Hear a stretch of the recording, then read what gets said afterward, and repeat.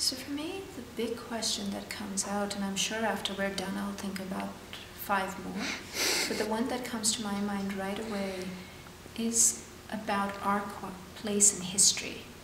And I mean that in terms of all of the people, all of us, planet, right? All of the six plus billion people who live on this. What is our place in history?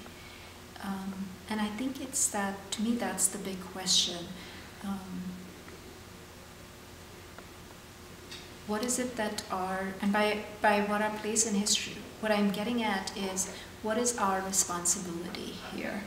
Um, mm-hmm. and it seems that um,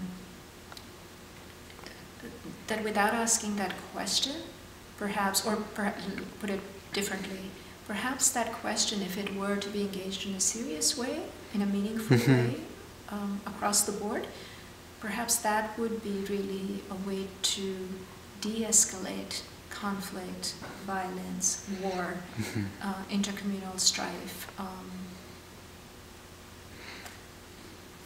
intolerance, all mm-hmm. of that. So it really, to me, um, I think the way I can crystallize that bigger question um, is really about our uh, the people who we who are here now in mm-hmm. the moment, in the present.